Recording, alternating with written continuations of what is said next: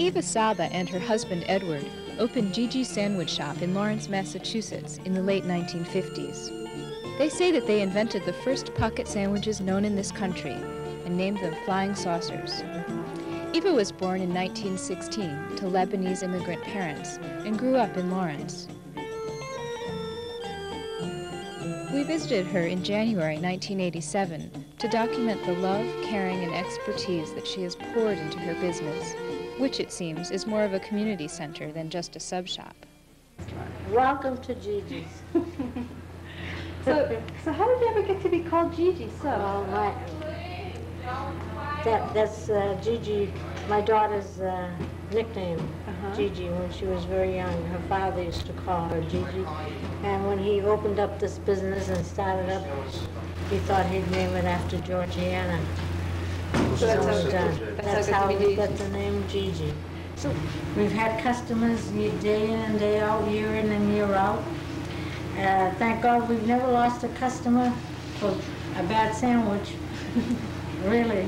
It's Over the years, it's become almost an international It thing is. too, because uh, people have gone uh, all over the country, and in fact, different parts of the world with we- sandwiches. We've Our sandwiches flown have flown to London, out to to, uh, Puerto Rico, to to... England, thrown sandwiches out to uh, Texas. Our customers, you know, our our, uh, previous customers, always. And every, anytime anyone ever hit Lawrence, this is the, they beeline to, oh, we're so happy to see you. You're still here? Oh, I just want to ask you this one story about, what about Everett? Everett, oh, Everett came into my life when he was about seven years old. So tell us that story. And I was in the lower part of Broadway here. And he used to come in, and he was a gabby kid. He used to like, like to talk and talk and talk. And uh, he used to come in and keep me company. In those days, I used to be working alone up there. And from time to time, I'd treat him. And uh, it made the night pass on, you know, pass away. Then, one day... But he was only seven? He was seven. Yeah, and then he went away, and uh, I, I lost track of him. So this one Sunday, he called me up, and he was about 10 years old at the time. And I discovered in the meantime he had lost his mother. And uh, he asked me for a job. He says to me, Gigi, do you remember me? I says, who are you? He says, my name is Everett. Now, how could I forget a name like that? Really? It's the only Everett that I ever knew in my life. So I told him, sure, come on, come down. So he came down and he started to throw my trash away and uh, helped me out in his little way. And uh, then he grew up honest and I discovered he was living alone, so we took him in. And my son and I used to drive him back and forth to school. And uh, my gosh, before you knew, he was a, a young man. And uh, he helped us out considerably and vice versa. I mean, uh, became part of the family.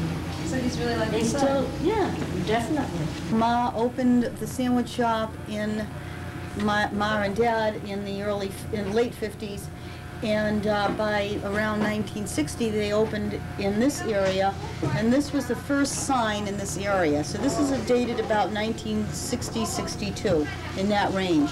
And uh, these are hand-painted signs from the Pepsi company in those days, and you can see the difference in the price. This is called a flying saucer, and you can Yeah, understand they- why by the those, shape. those send you into orbit. She's been selling these for almost 30 years. And your, your, your, brought- your brought meat, up your on that cheese, or your veg, you know, your cheese, if it's a vegetarian, or eggplant, or a hot sandwich, and you just kind of lay it in there very nicely, and then you put your other stuffings in. And this is what's made my mother's shop so famous. That's why it's called the home of the flying saucer. That's right.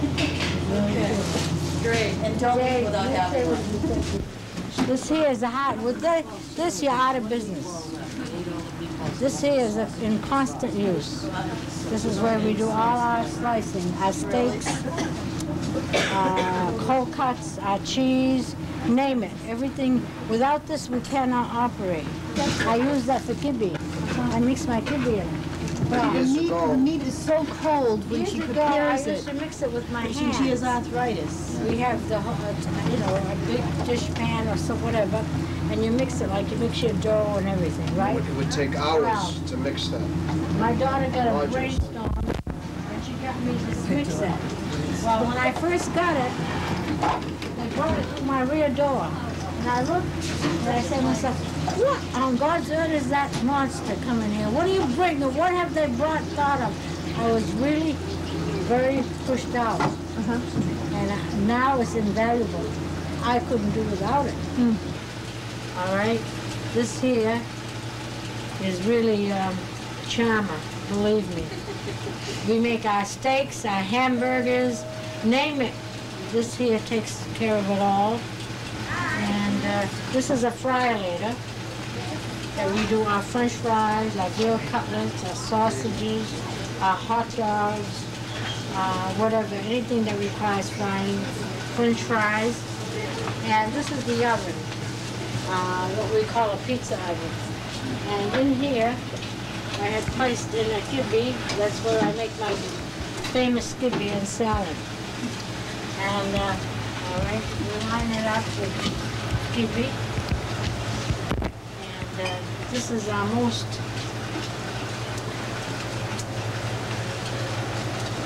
most popular sandwich. This is what made us. Okay? And that's how we see it. This is how it is.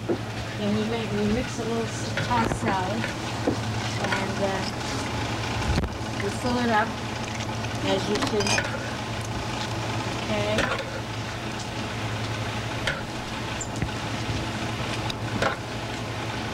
This is a meal in itself. Believe me. They come from all over for this sandwich. We wrap it, we hold it. We wrap it. We come for that sandwich as far away as Boston, Yeah. this local area, Concord, New Hampshire, down the other way, Manchester. We have a fellow that calls every uh, Friday night from Hudson, New Hampshire, for one uh, kibbe sandwich. They come from New Jersey when they're following you, right? Right in the area. Yeah, when they're in the area. Ah, they come from Lynn. They make a special for all the way from Lynn, Ballard Vale, whatever. This is how it looks when it's all wrapped up. So Joey and David, do you want to tell us what your favorite food is here? Okay. What's your favorite food here? Hamburg. Hamburger. Well, how about, how about? Why do you when like the hamburger? Well, how about when you ask me, what do you like, Joey? Um, boiled eggs. Boiled eggs? Yeah, but Who likes how often do you ask me for raw kibbe, honey? Every time I have sitto, have you got raw kibbe? Do you like Come on. Sito's raw kibbe? Tom, you like everything about Sito's cooking, right? He's, he's learned how to cook too now, What, huh? Joey? He works on the grill. My son can, can see that's how it's tra- uh, I can cook transgenerational. French Everything, fries. Daddy, I can cook French fries. and they're very proud. Now these are things that a lot of parents, adults wouldn't let kids around, but we supervise them carefully. My mother, down to us, down to the children, and that's how I learned. We learned uh, there's so many values and basics in life, the skills that can be taught in a business like this. My mother taught us economics. She taught us sociability, how to get along with people. She taught us um, uh, the basic skills of cooking, of uh, handling customers, and therefore it's uh, given us an opportunity to make a living for our own families.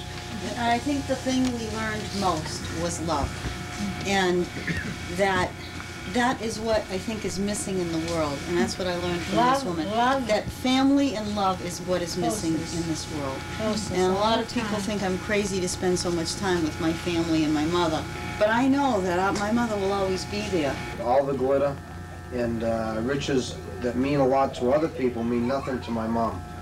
It's the little things, the kiss on the cheek, the thank you, Sito, uh, which means grandmother in uh, Lebanese, uh, the little visits as you see, seen from the family, the grandchildren buzzing around her feet, the real riches in life, uh, the beautiful little things you get uh, from love.